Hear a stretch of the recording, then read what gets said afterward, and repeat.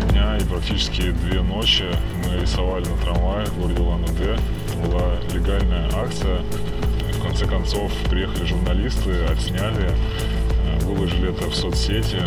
Вот, и у организаторов просто начал взрываться телефон, потому что был огромный резонанс по поводу того, что было нарисовано, цветов, в которых мы сделали, самих рисунков, э, шрифтов и так далее.